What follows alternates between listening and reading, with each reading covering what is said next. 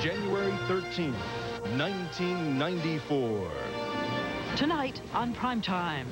And I looked up and I saw the helicopters. And I heard the gunshots. Sounded like war had started. World War III. Turning Point at Waco, the untold story.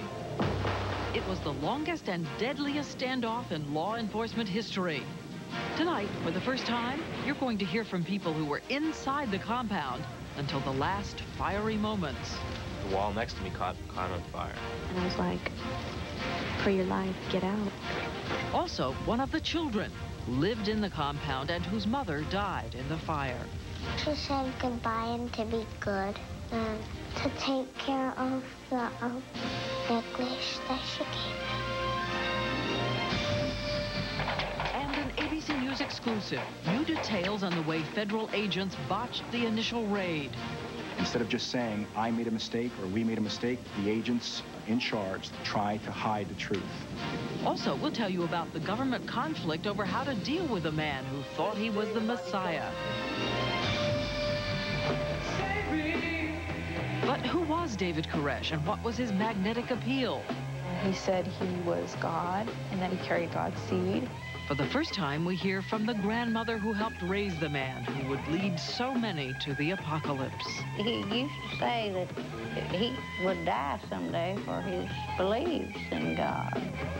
Tonight, Turning Point at Waco, the untold story. From ABC News, with anchors Diane Sawyer, Sam Donaldson, Chief Correspondent Chris Wallace, Judd Rose, Sylvia Chase, John Quinones, and Renee Poussaint. This is Prime Time.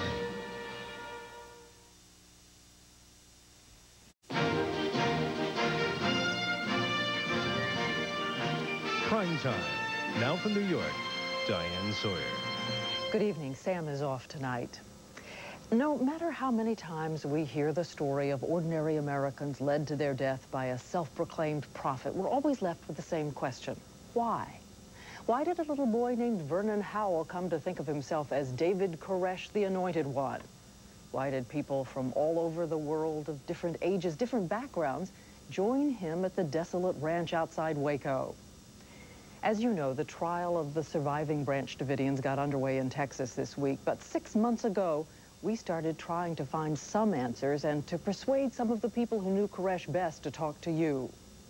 Tonight, you're going to hear about two cultures, the one inside the compound and the one outside, the Washington bureaucracy trying to fathom what to do after the first raid on the compound led to a standoff. And whatever you think of Koresh's followers, everyone we talked to professed a genuine belief that David Koresh was a holy man and that God was about to bring on the end of the world. Now, the story of the apocalypse at Waco. Jesus says that in his kingdom, among his people, In the prairie towns of central Texas, Bible stories are told and retold. Here, on a back road outside Waco, 126 men, women, and children built a wooden fortress on a hill to wait for the final reckoning. God is going to bring cataclysmic events that are going to try to wake people up. A lot of people say, you're waiting for the end of the world? Well, I'm waiting. I'm waiting. He said, you know, it's going to be like a dream. Things are going to happen, and it's going to be like a dream. And, you uh, know, almost hard to believe. it's been like a dream.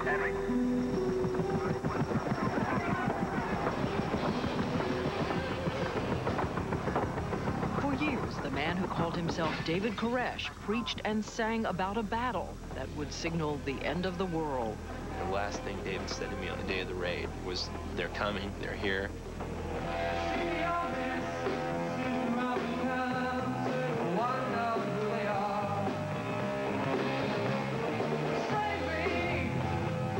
The initial raid at the compound. By the time it was over, four federal agents and six Branch Davidians were dead. 32 others on both sides were wounded. David Koresh's followers were convinced they were watching the last of the great biblical prophecies unfold. Inside, Koresh, bleeding from a gunshot wound, called his mother it's your boy. They shot me and I'm dying, all right? But I'll be back real soon, okay? Tell Grandma I tried. Said, don't worry, Grandma. Says, it's not so bad to die. Says, uh, I'll be resurrected. Uh, I'll be merciful, okay? And I'll, I'll see y'all in the skies. Bye.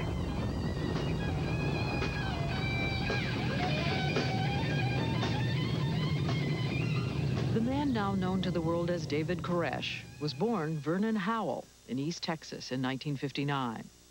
His mother was 14 when she got pregnant. His teenage father disappeared. His mother and grandmother told us, looking back, this seems to be the key to the boy they raised. You know, I had David when I was very young, and uh, I was never married to his father. And so I think he always felt a void in his life. His own father, his, his grandfather, his stepfather. The men in his life did not accept him the way he wanted to be. Well, most of the men in Vernon's life wasn't interested in any kid as far as that went. I mean, you know, other than, hello, how are you, and get out of my way. he later said his stepfather, a carpenter, beat him.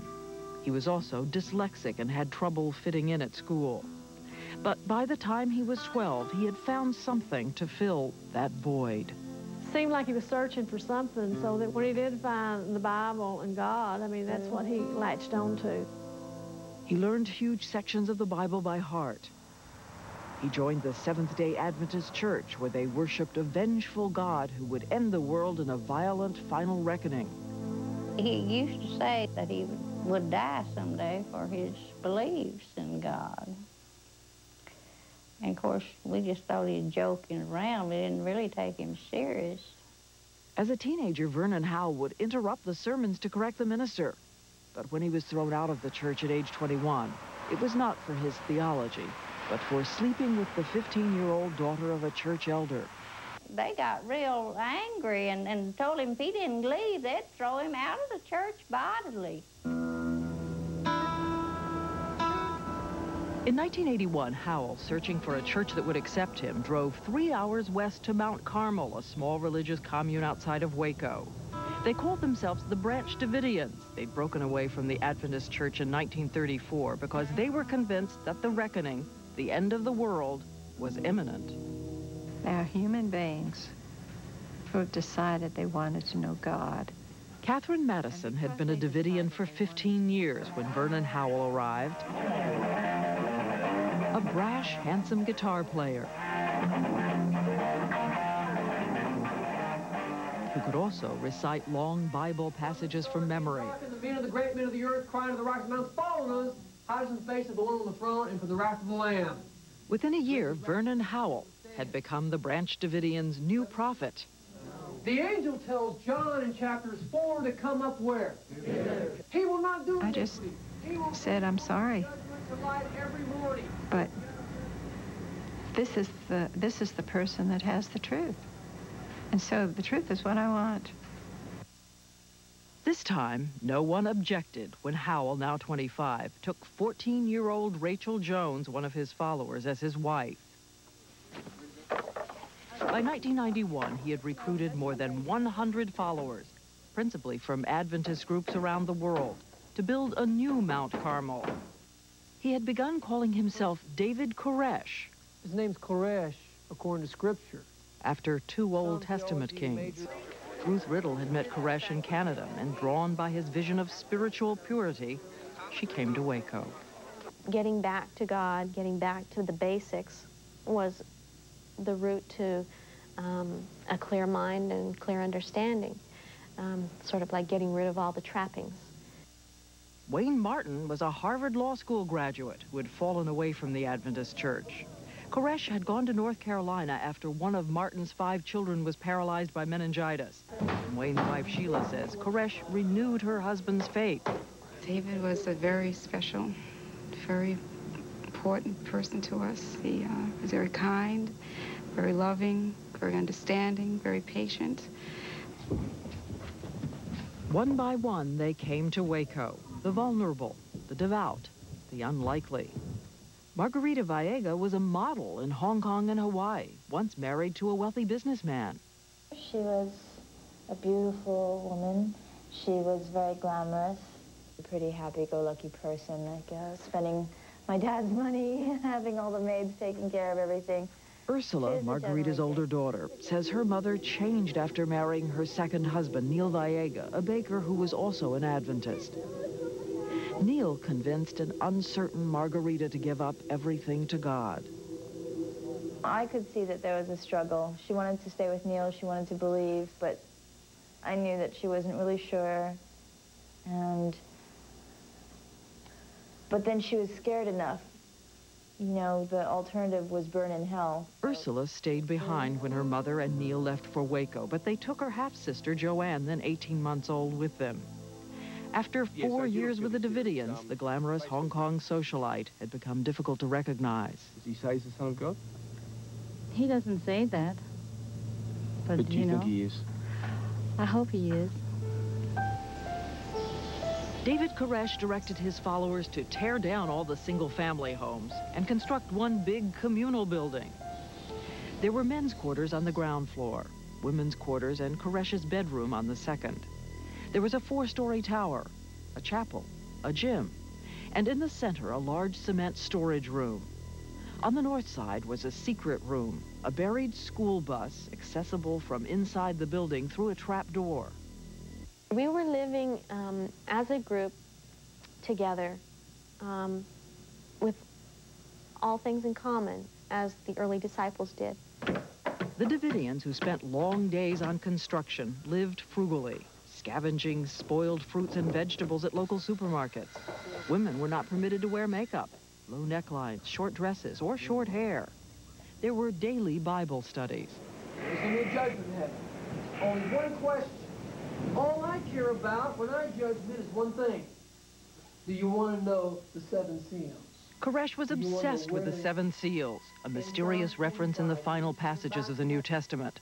He believed the seals held the key to God's plan for the end of the world, and the Davidians we spoke to told us Koresh was convinced God had chosen him to reveal the secrets of the seals. Well, when Christ comes again, what's he going to bring? And he's going to reveal what? Koresh's sermons, up to 12 hours long, would often end with a jam session from his rock band.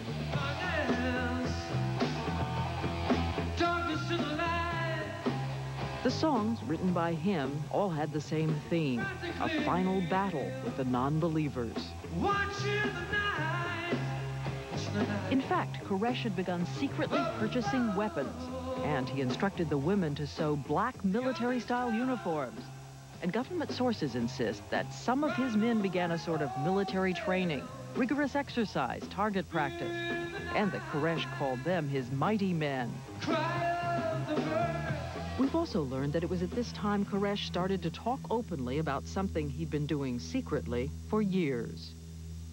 David said that every woman in the world, no matter who she was, belonged to him, to belong to God.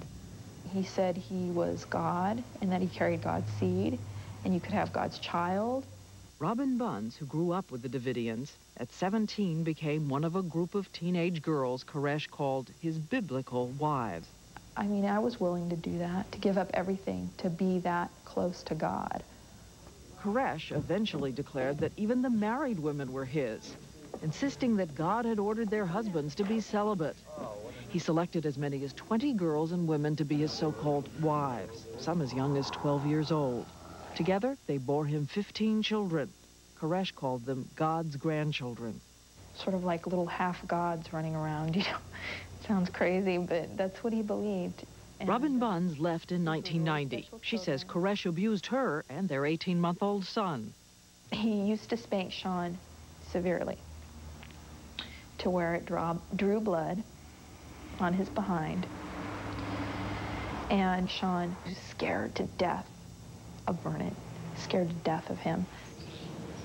It was charges of child abuse that first drew official attention to Mount Carmel. After former Davidians who had returned to their homes in Australia complained to the American embassy there, an Australian news crew traveled to Waco to investigate. Yes, I spank children. I spank my children when they do wrong. 40-minute spankings? No. Repeated spankings? No, no, no, no. We had no evidence, so it was a very frustrating time for us. Beginning in um, February of 1992, Joyce Sparks of the Texas Child Protective Services made a series of trips to the compound and spent hours talking with Koresh, who attempted to recruit her too. He would talk about the military takeover, that they were going to come and try to get him, and that there was going to be fire and that the saints were going to die. The conversations alarmed her. As for child abuse, everyone at the compound denied it. And over Sparks' objections, her department closed the case. An accident in May of 1992 set the stage for the showdown with the government. A package on its way to the compound by UPS ripped open. Inside, hand grenades. Over the next few months, the Federal Bureau of Alcohol, Tobacco, and Firearms traced shipments of thousands of rounds of ammunition, a grenade launcher, and explosive chemical powders. There were AK-47 and M16 rifles and the parts to turn them into fully automatic weapons. By late November, the ATF believed it had probable cause to arrest David Koresh for federal firearms violations. The thought was that at some point he was going to have a conflict with someone, whether it was law enforcement or some private citizen or some follower, and at that point he might use those weapons um, against whoever he's having a conflict with. Later, Ron Noble, Assistant Secretary of the Treasury, would lead the federal investigation into the disastrous attempt to arrest Koresh. In January 1993, an ATF undercover team set up surveillance in a rented house across the road. One of them, Agent Robert Rodriguez, began going to Koresh's Bible studies. They, they asked me directly, what will happen if we execute a search warrant? The ATF consulted Joyce Sparks as well. And I said, his followers believe that he is the Lamb of God. If you try to execute a warrant with force, they're going to get their guns and they're going to shoot you. But the ATF went ahead with plans for a surprise raid of the compound, set for a time when the men were outside and the weapons locked up. They would later be criticized for not arresting Koresh off the compound on one of his frequent trips into town. On the morning of February 28th, an hour before the scheduled raid, Agent Robert Rodriguez enters the compound one last time. He started talking about the Bible with Koresh as he always had. Um, and then something unusual happened. Um, the session, the Bible session, was interrupted. We now know a Davidian follower had been tipped off to the raid. He'd run into a TV reporter who was looking for directions to the compound. When Koresh returned, he was agitated. He was nervous. He couldn't concentrate on the Bible lesson. And he says, they're coming, Robert. They're coming. ATF and the National Guard are coming. It's now clear Koresh knew Robert Rodriguez was a federal agent. And Robert didn't know what was going to happen. Koresh shook his hand and said, good luck, Robert. Agent Rodriguez went back to the undercover house to warn the agents in charge that the surprise was blown. The number two guy you know, gets in his truck, speeds, rushes to the staging area where all the um, ATF agents are gathering and says, come on, they know we're coming. Koresh knows we're coming. Roberts, come out. Let's go, let's go, let's go. Hurry. The decision to go ahead. The Treasury report says that was the crucial mistake. I guess the sound of helicopters drew me to the window. My mom came in the room, grabbed me off, the, off of my bed, and she said, whatever you do, be quiet. And then my dad and some other guys came up with the, um, the uniforms that my mom had sewed on and was all dressed up, had guns. To this day, there is no proof who shot first. The ATF claims the Davidians opened fire. Surviving Davidians like David Thibodeau say Koresh wanted to negotiate. He's saying, hold on, wait a second. With this hand, he's holding it out like this. There's women and children here. We, you know, we want to talk about this. And then I heard the gunshots, just everywhere. People were going crawling on the on their knees out in the hallway, and they said, "Just stay down, stay down." 911, what's your emergency? There's 75 men around our building, and they're shooting at us in Mount Carmel. Wayne Martin, the Harvard Law School graduate, phones the Waco police. Tell them there are children and women in here and to call it off.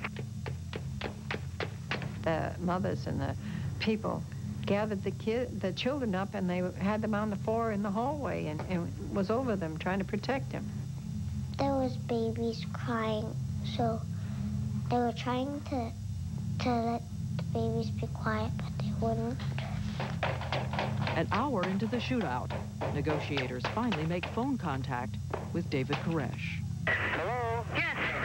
This is Dave Koresh. At first, Koresh gives them a Bible lesson. Okay. It's your Bible. There's seven seals. Let me, can I interrupt you for a minute? Sure. All right. We can talk theology, but right no, now... This is life. This is life and death. The theology that's what I'm talking about. is life and death. Finally, at 11.39 a.m., two hours after the shooting began, Koresh gives permission for the ATF to enter the compound and evacuate its casualties. Four agents and six Davidians are dead. 32 others, among them Koresh himself, are wounded. The longest and deadliest standoff in law enforcement history has begun. Thou shalt break them with a rod of iron. Thou shalt dash them in pieces like a potter's vessel. The guy's tough. He's got more than guns. He's got God. When we come back, as the siege held the nation and the world spellbound, exclusive documents obtained by ABC News detail the battle of wills as the FBI tries to get Koresh followers to renounce him and break away.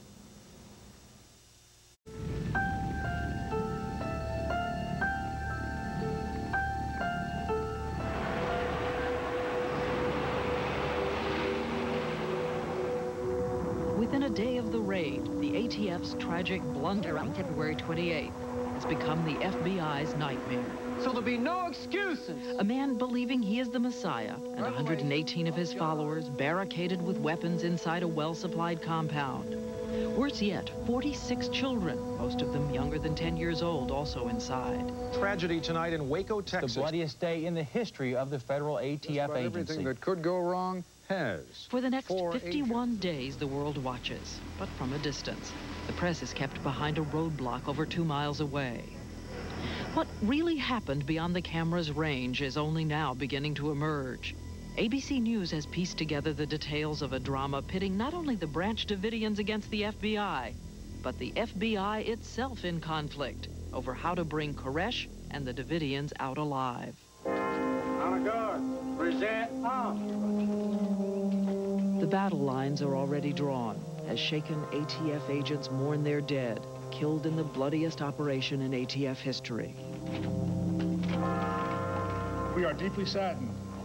Our hearts go out to those, to these brave agents who died today in the line of duty, and to their families.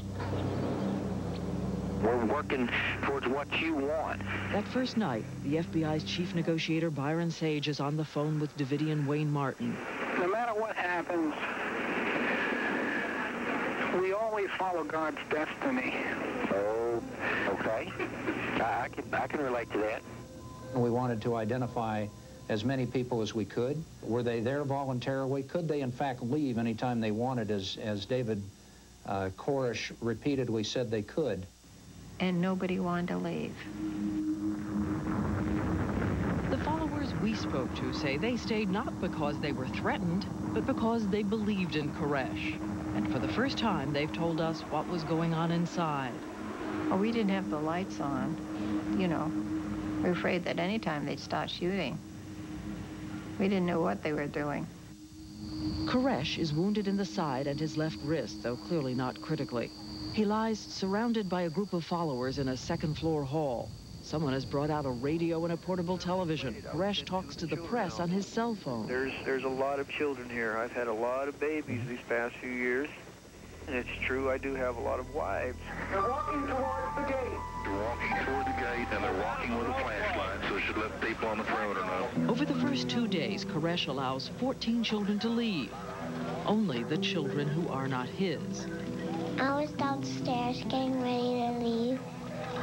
She was carrying me out to the door. Just after midnight on the second day, Margarita Vaega says goodbye to her daughter Joanne. She asked David if she could go, and he said, he said no. Because he, he only was going to let the children out. And she said goodbye and to be good and to take care of the um, necklace that she gave me. What was the necklace? It was her necklace that she was wearing. Why do the heathen rage? At first, the FBI pursues a strategy of conciliation. For hours listening to Koresh talk about the Bible, attempting to give him whatever he wants. On the third day, even broadcasting a taped sermon. My name is Dave Koresh. I'm speaking to you from Mount Carmel Center. In return, Koresh is to release everyone, adults and the remaining children. After the time of the tape, uh, we were getting all the children out. We had them downstairs. They had their pockets stuffed with candy and things, and they had all their toys, and they had their clothes, and everyone was feeling really good. We were excited about it. FBI buses arrive to take the Davidians away. And at some point, we realized it's been a long time. No one's coming down. What's happening? And we went back upstairs, and David was praying, praying very earnestly that God would please turn the situation around. Koresh refused to honor his promise and has indicated he will keep his promise to come out when he receives further instruction from God. Do you people believe that Koresh is actually talking to God? Koresh believes he's talking to God.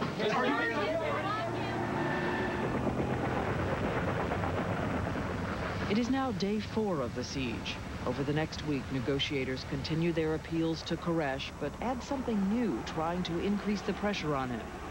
An elite paramilitary hostage rescue team is brought in, and army tanks. To the Davidians, it seems Koresh's prophecies of an apocalyptic showdown are coming true.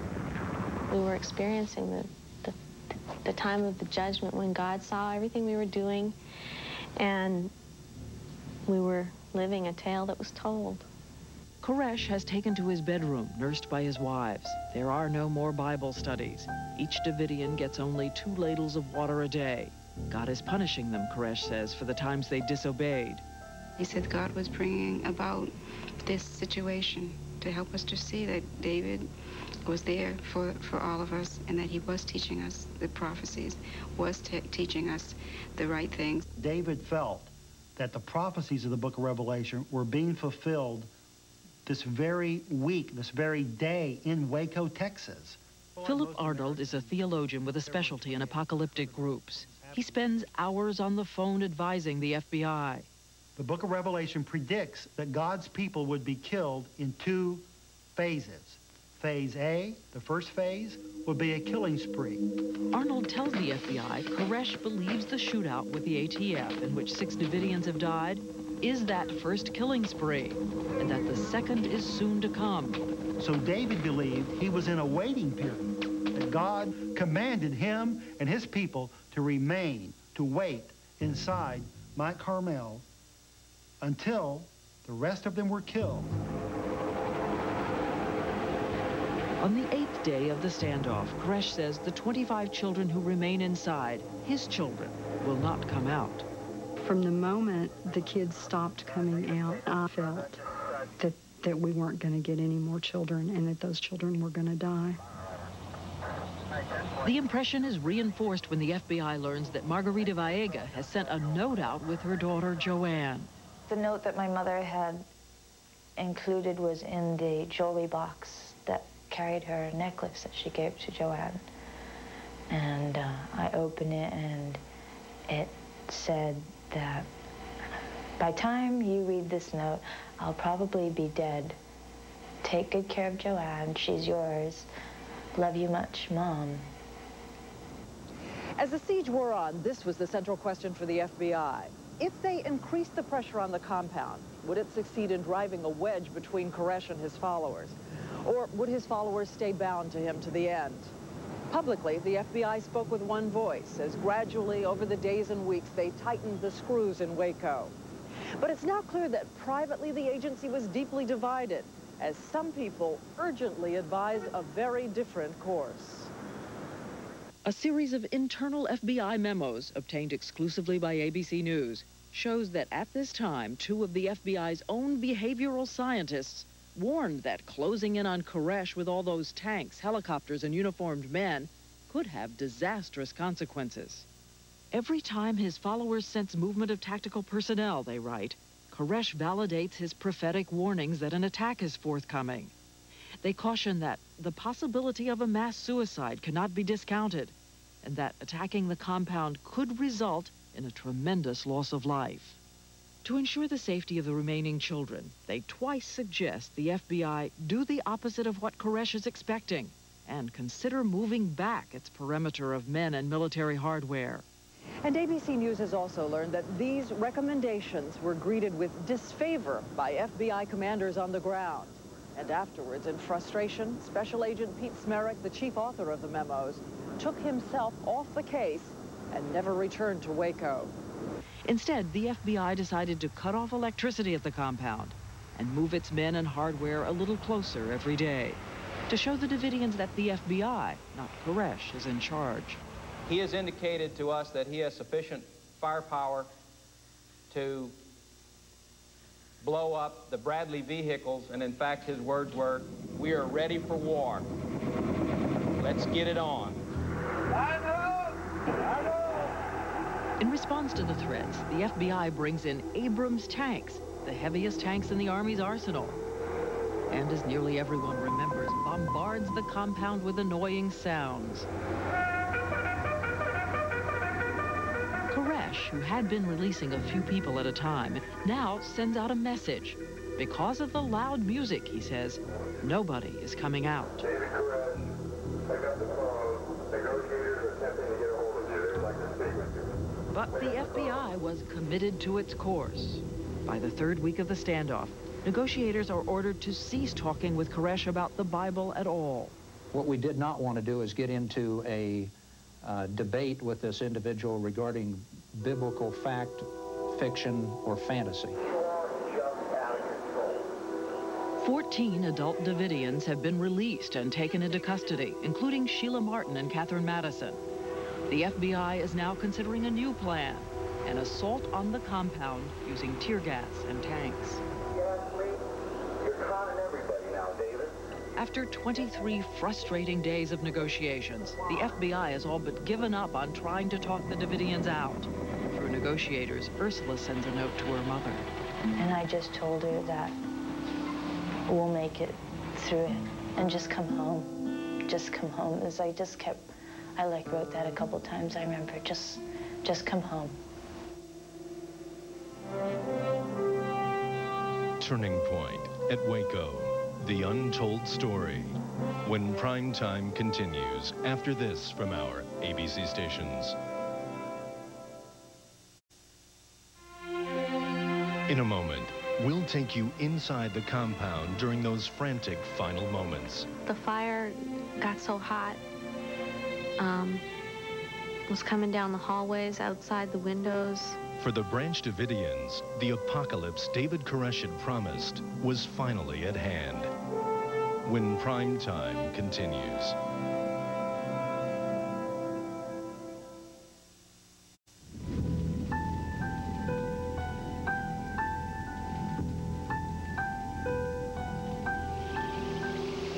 Is the end of March. The standoff in Waco is one month old and has cost over $4 million so far. It is becoming an embarrassing daily soap opera starring the FBI and its public enemy number one. Vernon Howell thinks he's the Lamb of God, when all he is is a cheap thug who interprets the Bible through the barrel of a gun. There is one last possibility for negotiation. Uh, David? I'm here. Uh, this is Dick DeGuerin. The FBI allows Dick DeGuerin, an attorney retained by Koresh's mother, to go in and out of the compound for a week meeting with Koresh. On the 46th day of the siege, April 14th, Koresh writes DeGuerin that God has told him to write down his interpretation of the seven seals, and Koresh promises that when it's finished, he and his people will come out. The people we were dealing with here were extremely committed to uh, Mr. Koresh. They were uh, committed beyond return. You need to In spite of the letter, lead negotiator Byron Sage tells FBI officials in Washington he's convinced the Davidians are not planning to come out. On April 17th, Attorney General Janet Reno approves an FBI plan to assault the compound with tear gas and tanks. The Attorney General, Janet Reno, has yet to give a detailed explanation of her decision to order the final assault on Waco. Was it because of fear of ongoing child abuse? She said that at first, but later backed off. Was it the fatigue of the hostage rescue team? Or is it simply that the FBI failed to brief her fully on the dangers of sending in tear gas and tanks? The Attorney General refused our request for an interview, saying she will speak after the trial is over. The occupants in the compound were advised. This is not an assault. Do not fire. We are introducing non-lethal tear gas. Submit to proper authorities. The tanks roll up to the building on April 19th, just after 6 a.m. We will continue to, to gas them and make their environment as uncomfortable as possible until they do exit the compound. The strategy is to move in gradually, inserting small amounts of gas over the course of two days. But in the first seven minutes, the FBI abandons the gradual approach, increasing the gas. They say the Davidians are firing on them. Even though we have probably had over 200 rounds of ammunition fired at us, we have not fired back. At about 10 a.m., Davidian Graeme Craddock, an engineer, comes out of the compound, holding a disconnected telephone line.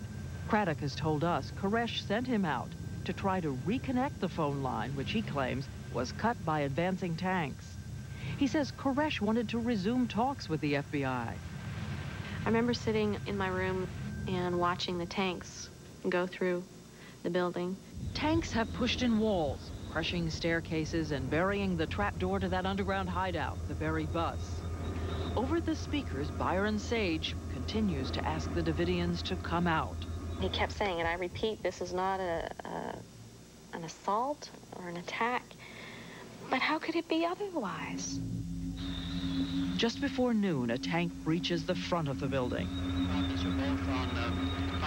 After the tank backs out, the fires start. The Davidians claim the tanks had knocked over gas lanterns.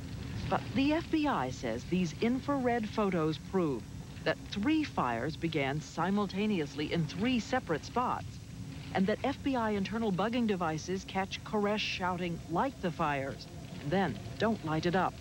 I felt heat on the floor, in the air. Ruth Riddle is in her bedroom on the second floor. I could hear crackling sounds,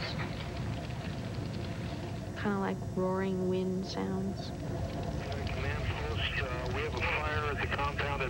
Although the FBI has said it had a fire safety plan in place, there is no fire equipment standing by. Five minutes after the fire erupts, the command post makes a 911 call to the local fire department. I'd say it's a, it's a pretty good fire. The entire compound is going up right now. There was smoke downstairs all around. I just kind of, I don't know, I just kind of went down on my knees. David Thibodeau says he crawled from the downstairs chapel into an upstairs hallway. I remember taking my jacket off and my, my gas mask, because at that point I couldn't breathe anyway. The compound that we had sat here and looked at for 51 days. They're still burning in the corner. Uh, we don't see anyone on the We ground. were waiting to see children. We were hoping that children would come out. The entire complex is on fire. And we watched those children burn. The smoke that's going up is uh, it's wood. The fire trucks arrive 15 minutes after the fire began, but they're held at a checkpoint four miles away. It will be another 21 minutes before they arrive at the scene. The fire got so hot, um, was coming down the hallways, outside the windows. The wall next to me caught, caught on fire. It's a horrible, horrible sight here. Got so close and got so hot, And then I looked up and saw out the window. and I was like, for your life, get out. And so I jumped out the window. They're very desperate Everything was in slow motion. Looking back, seeing the place on fire, I saw someone fall out of a window. on fire. In all, just six men and three women escaped the flames. When I was looking back, they asked me, where, where is everybody? Where are the children? And, you know, what could I say? There, there the building was burning where everybody was. I think that probably six or eight people knew what was going to happen. I think that the rest of them thought, truthfully, thought that it was the apocalypse was on was upon them. But I Medical examiner Rodney Crowe has helped piece together what happened to the 75 Davidians who remained inside. Crowe says that in the cement bunker, 31 mothers and all the children huddle shoulder to shoulder in the fierce heat, covered with wet blankets. I think the women that were gathered in that concrete bunker with the blankets over their head, I think, I think they had true intentions of getting out of there. But as fire races through the first and second floors, part of the cement bunker collapses. As the others watch, one child and five women, including Rachel Koresh, are buried alive. Then I think at the last moment, just in desperation, that's when the killing happened. At 1225, agents began hearing bursts of gunfire from inside the compound. There were, per se, executions in there, maybe family members shooting another family member. These were all more like a euthanasia or a merciful killing. An explosion from stored propane gas sends a plume of smoke 200 feet in the air. People in their last moments would gather as a family unit. Uh, one, one family with seven members were gathered where they were all touching each other as they uh, finally fell into a clump. On the second floor beneath the tower, nine men and women gather in the center of a room. They have pistols and bayonets and a 50 caliber gun. My personal interpretation was this was the core of the resistors at the last. If there was indeed all this firing upon the tanks, it came directly from the observation tower from this group of people. The nine die with their heads together, some from self-inflicted gunshots, bodies pointing outward like the spokes of a wheel. Among them, Neil Vaega, father of seven-year-old Joanne. In all, 17 people die of gunshot wounds, 36 as the smoke fills their lungs. Five men and women burned to death. At first it was, oh, 16 people or so escaped the fire. And then it was a woman or two might have been included. Then it's like, please make that that woman or two is my mom. Please make that it's her. Please make that it's her. And then finally they start identifying the people. In the aftermath, a body believed to be Margarita's was found with six others near the blocked passageway to the buried bus. Investigators agree, had they reached the bus, the air supply would probably have kept them alive. Wayne Martin was found alone in the chapel, dead of smoke inhalation.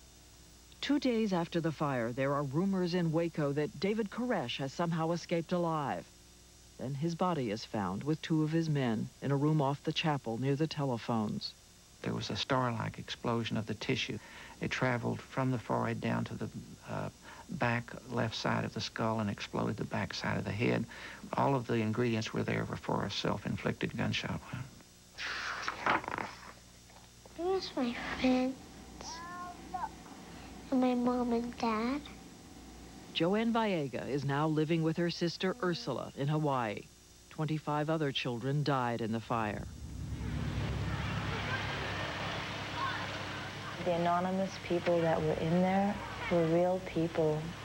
They had family who loved them, and they loved their family. It's my mother, and she wasn't crazy. She's a beautiful woman, and she didn't deserve to die, and Joanne does not deserve to be without her mother and father. No child at the age of seven should lose their parents. The deaths of these fine agents is a tragedy. There may be some comfort in the knowledge. And in Washington, shortly after the fire, a memorial service for the four ATF agents who died in the initial raid on the compound. These were the good guys, just wanting to go after the bad guys.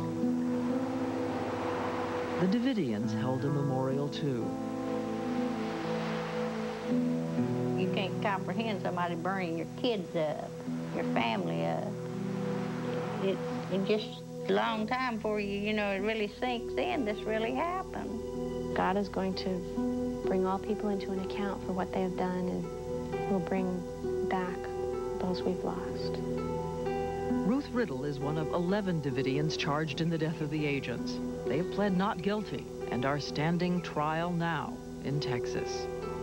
Catherine Matteson, David Thibodeau, and Sheila Martin will likely be called as material witnesses in the case. They say the world will end sometime in the next three years. And they're waiting for the return of David Koresh.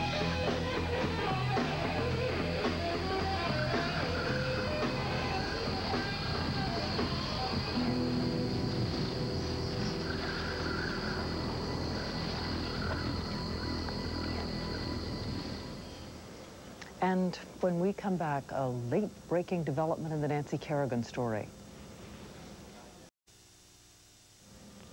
Now, the latest news of the attack on Olympic hopeful skater Nancy Kerrigan. Late tonight at the Justice Center jail in Portland, Oregon, police and FBI agents brought in 26-year-old Shawn Eckardt, the bodyguard of Kerrigan's teammate and rival Tonya Harding.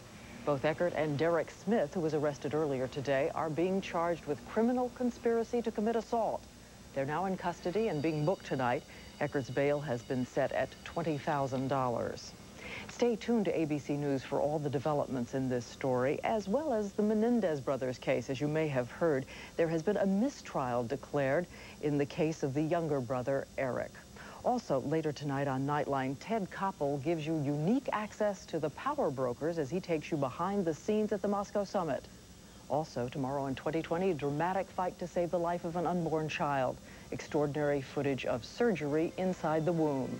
I'm Diane Sawyer in New York. Sam will be back next Thursday, and we welcome Phyllis McGrady, our new executive producer. Join us for another edition of Primetime Live next week.